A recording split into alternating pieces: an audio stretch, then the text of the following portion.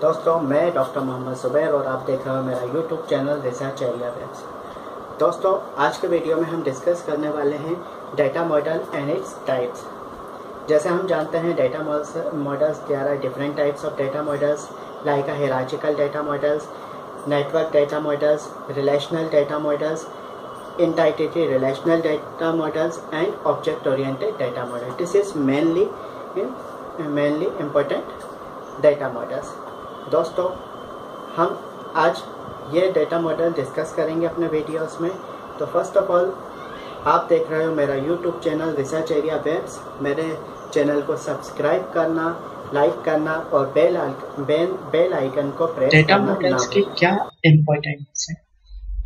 Relative simple representation ये एक simply representation usually graphical usually graphical और complex real world real world data structures create करता है communication tool to facilitate interaction among the designer ये communication जो tool है, ये इंटरेक्ट करते हैं डिज़ाइनर एप्लीकेशन प्रोग्राम और एंड यूज़र को। एंड यूज़र हम बोल सकते हैं जो नए यूज़र है। इन मॉडल्स के थ्रू हम इजीली अपना जो भी यहाँ पर हमने डेटा तैयार करा है, जो भी है, हम वो शो कर सकते हैं इन मॉडल्स के through importance of data modelling हम ये भी बोल सकते हैं कि जो एन यूज़र होते हैं, वो डिफरेंट व्यूज़ में हम उन्हें समझा सकते हैं अपने डेटा को.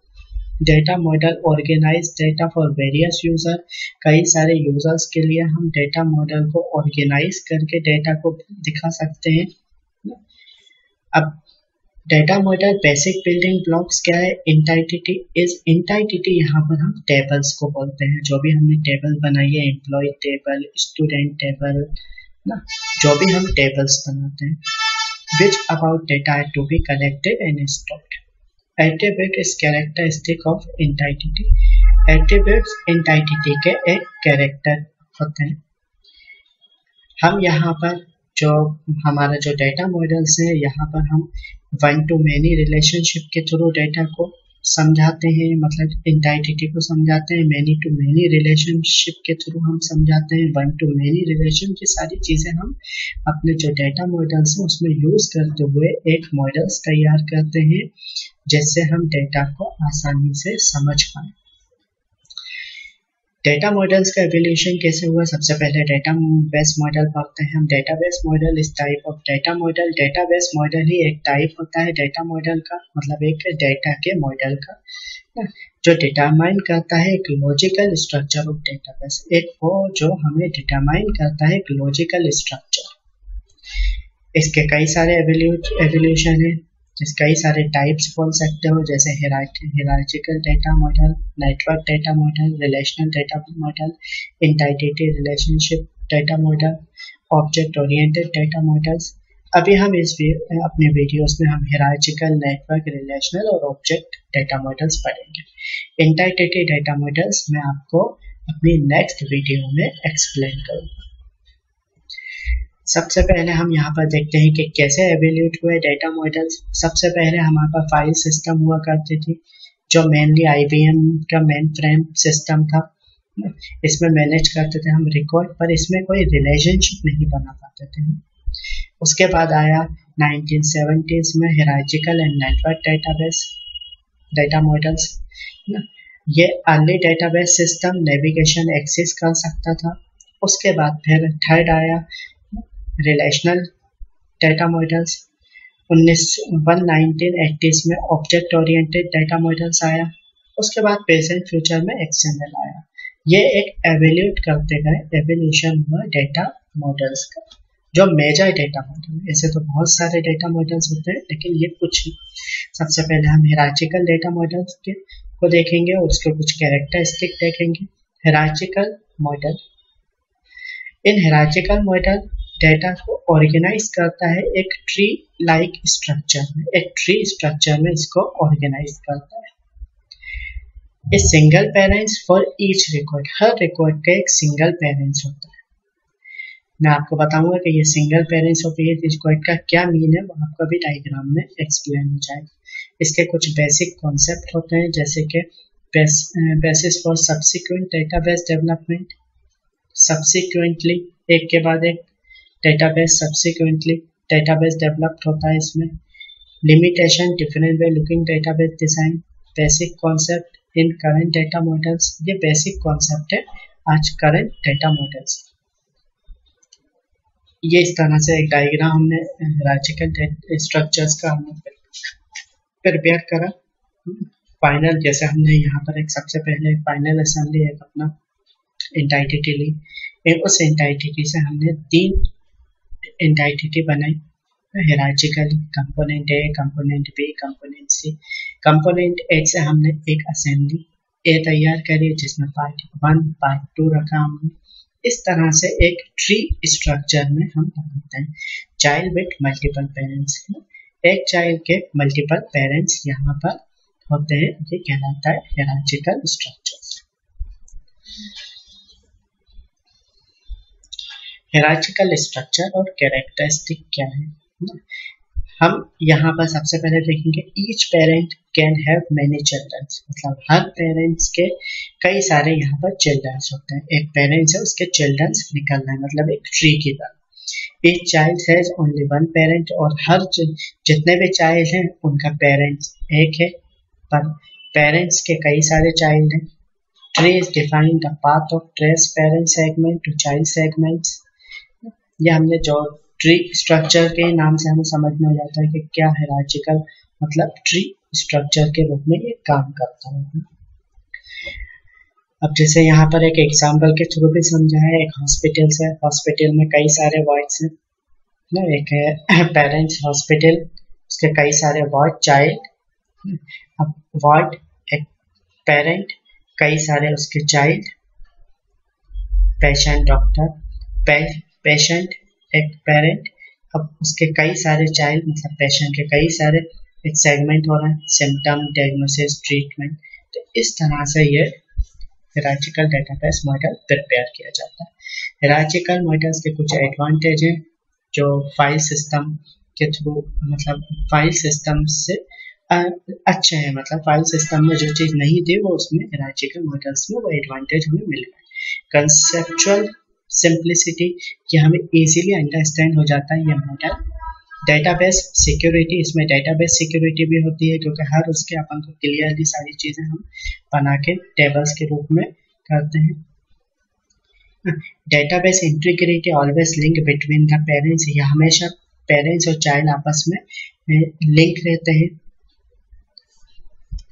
ये कुछ इसके, कुछ डिसएडवांटेज भी होते हैं। कॉम्प्लेक्स इम्प्लीमेंटेशन बहुत ज़्यादा कॉम्प्लेक्सिटी बढ़ जाती है यहाँ पर। डिज़ाइनर्स के लिए प्रोग्रामर्स के लिए डिफ़िकल्ट टू मैनेज कभी कभी ये इतने सारे चाइल्ड और पेरेंट्स इतने हो जाते हैं कि वो डायग्राम इतना हैवी हो जाता है, इतना ज़्यादा आपका डेटाबेस मॉडल्स हो जाता है कि उसको मैनेज करना डिफ़िकल्ट हो जाता है। स्ट्रक्चरल इंडिपेंडेंसी लेक इसमें स्ट्रक्चरल इंडिपेंडेंसी नहीं मतलब डायग्राम आपका, जो भी आपका मॉडल है, वो बढ़ता ही जाता है जैसे जैसे आपकी तो इसमें कुछ हर चीज़ में कुछ अच्छाइयाँ होती हैं तो कुछ बुराइयाँ, कुछ एडवांटेज कुछ कुछ डिसएडवांटेज अगर डिसएडवांटेज नहीं होते, तब तो फिर हमारे पास जो हमारा, आगे जो हमारे और डेटाबेस हैं, वो फिर कैसे प्रिपेयर होते तो इसलिए हमें हर चीज़ में कुछ ना कुछ डिसएडवांटेज होते हैं, तभी हम उसको और अच्छा बना सकते हैं। नेटवर्क डेटाबेस मॉडल उसके बाद हम नेटवर्क डेटाबेस मॉडल पढ़ेंगे नेटवर्क डेटा नेटवर्क जो डेटा बेस मॉडल था, उसे थोड़ा एक्सपेंड कर दिया गया है हिरार्चिकल स्ट्रक्चर से। इसमें अलाउ कर दिया गया है many to many relationship means एक कॉलेज है कॉलेज की एक रिलेशनशिप डिपार्टमेंट से भी बनी तो कॉलेज की एक रिलेशनशिप फैकल्टी से बनी। फैकल्टी की रिलेशनशिप कोर्स से भी बन रही है कॉलेज से भी बन रही है स्टूडेंट से भी बन रही है। इस तरह से मैनी टू मैनी रिलेशनशिप यहाँ पर नेटवर्क मॉडल्स में क्रिएट कर सकते हैं। अब network models created to represent complex data relationship more effectively जो कॉम्प्लेक्स डेटा होता है, उसके लिए बहुत इफेक्टिवली रहती है। जैसे मैंने अभी आपको बताया कि कॉलेज स्टूडेंट कितना कॉम्प्लेक्स था। इम्प्रूव डेटा बेस परफॉर्मेंस इसमें डेटा बेस परफॉर्मेंस भी इम्प्रूव हुई। इस तरह से इसमें कई सारी चीज़ें आ गई, जो हमारे पास एराजिकल में नहीं थी। क्रूशल डेटाबेस कंपोनेंट जैसे स्कीमा स्कीमा क्या है? Conceptual organisation entire database as view by database administration administration इसमें आराम से कहाँ पर वैल्यूज़ ली गई है, कहाँ से डेटा लिया गया है, ये सब स्कीमा भी यहाँ पर बन जाता है। डेटा मैनेजमेंट लैंग्वेज यहाँ पर क्रिएट हो जाती है। Easy data network data model इस तरह से भी हमने यहाँ पर एक डायग्राम बनाया कि एक सेल्स रिप्रेजेंटेटिव है कस्टमर है सेल्स इनवॉइस करेगा। वहाँ से कस्टमर के पास भी वो मतलब एक दूसरे से से नेटवर्क क्रिएट हो जाता है। नेटवर्क डेटाबेस मॉडल मॉडल हम क्रिएट करते हैं। तो network the network data model के कुछ एडवांटेज हैं तो कुछ डिसएडवांटेज भी है। जैसे कंसेप्चुअल सिंप्लिसिटी इसका जो कंसेप्चुअल है, बहुत सिंपल है। हैंडल मोर रिलेशनशिप टाइप्स इसमें कई सारे रिलेशनशिप टाइप्स हैंडल कर सकते हैं। डेटा इंडिपेंडेंसी हो जाती है। डिसएडवांटेज इसमें क्या है? सिस्टम कॉम्प्लेक्सिटी हो जाती है थोड़ी सी लैक ऑफ़ स्ट्रक्चरल इंडिपेंडेंसी ये कुछ इसके डिसएडवांटेज है। अब बात करते हैं relational database model relational model first describe किया गया था 1969 में ई एफ़ कॉट द्वारा।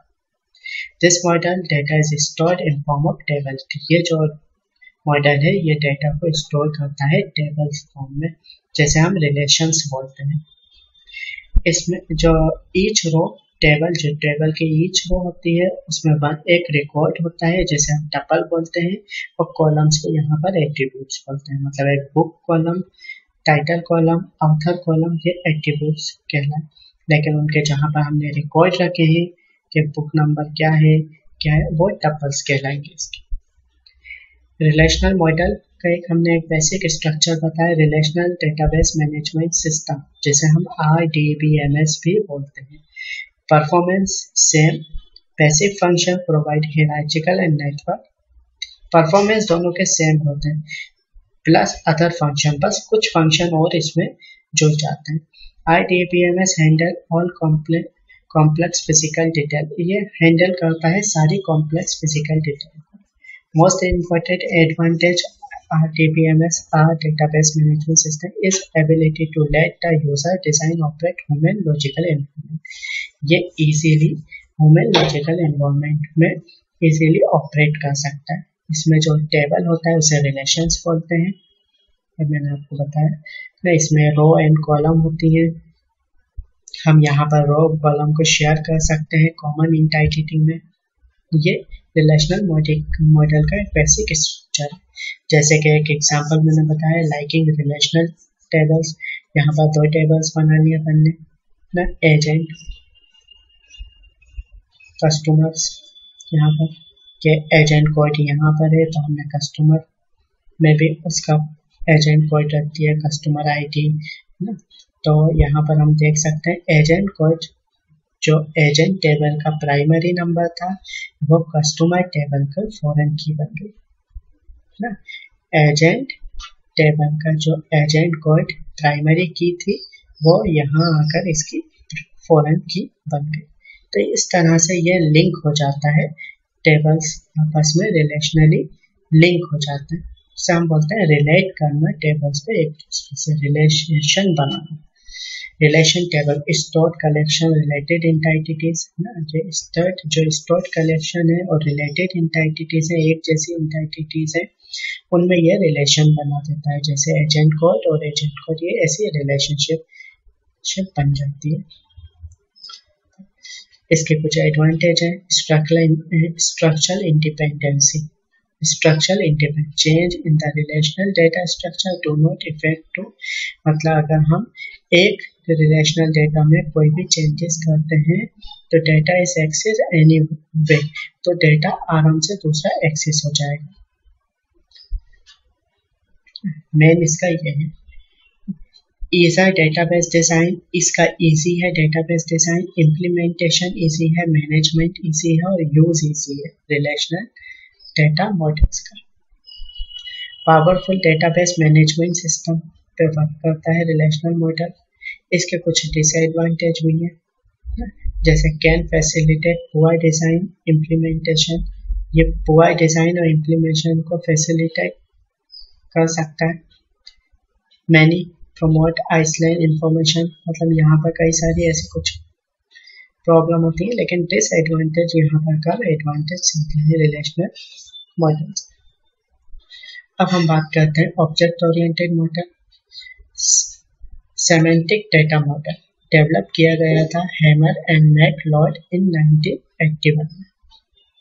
Basic of object oriented data models को हम बोलते हैं oriented data model OODM become base, basis for object oriented database model system.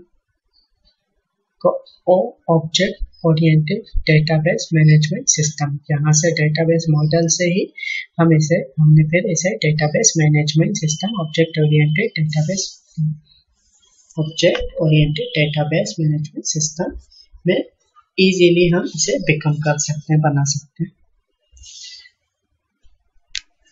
Development of codes in popularity growing cost of put premium on code reusability हम यहाँ पर इसको ये usable कर सकते हैं कि हमारे पास जो एक कोड है ऑब्जेक्ट ओरिएंटेड है तो किसी दूसरे ऑब्जेक्ट में भी उसका यूज़ कर सकते हैं। एक ऑब्जेक्ट बनाने के बाद ever increase computing power made it is possible to support large computing overhead required जो भी जिस तरह से भी हमें रिक्वायरमेंट है तो हम उसको भी इंक्रीजली यूज़ कर सकते हैं। ऑब्जेक्ट ओरिएंटेड डेटा मॉडल में हम बेसिक स्ट्रक्चर में बात करें तो abstraction of real world entity attribute describe property of an object object that share similar characteristic and grouped in classes. अब हम यहाँ पर ए आर मॉडल और ऑब्जेक्ट मॉडल में देखते हैं। तो ऑब्जेक्ट मॉडल में हमने जो भी हमारे पास जो भी इंटाइटिटी है, उसे एक ऑब्जेक्ट के रूप में रखती है। जैसे date number ship customer line ये। और ए आर मॉडल में हमें यहाँ पर इस तरह से ये दोनों में कंपेयर कंपेरिजन हो। गया ऑब्जेक्ट ओरिएंटेड मॉडल के कुछ एडवांटेज है। विजुअल प्रेजेंटेशन इनको सेमेंटिक कंटेंट डेटाबेस इंटीग्रिटी है स्लो पीस ऑफ़ ये थोड़ा स्लो डेवलपमेंट है कॉम्प्लेट स्लिप लर्निंग कर्व है high system over has slow transaction है, ये कुछ इसके डिसएडवांटेज है। अब हमने यहाँ पर कुछ, जो भी हमारे डेटाबेस मॉडल्स थे, उसकी कुछ हमने समरी पढ़ी है। तो यहाँ पर represent real world is closely as possible पहला कुछ समरीज है यहाँ पर। डेवलपमेंट ऑफ़ डेटा मॉडल्स कैसे हेराजिकल फिर नेटवर्क फिर रिलेशनल इंटाइटिटी रिलेशनशिप सेमेंटिक आया सेमेंटिक में ऑब्जेक्ट ओरिएंटेड आ गया, और भी कुछ मॉडल्स आ गए हैं तो ये इसका एक डेवलपमेंट है डेटा मॉडल्स का A good DBMS will perform poorly, will with a poorly designed database. अगर DBMS परफॉर्म पुअर करेगा, अगर उसका डेटाबेस मॉडल डिज़ाइन पुअर है तो data model is simple extraction complex real world data gathering information इसके कुछ component होते हैं इंटाइटिटीज एट्रीब्यूट रिलेशनशिप इनके थ्रू ही डेटाबेस मॉडल हम बनाते हैं। हमने यहाँ पर सबसे पहले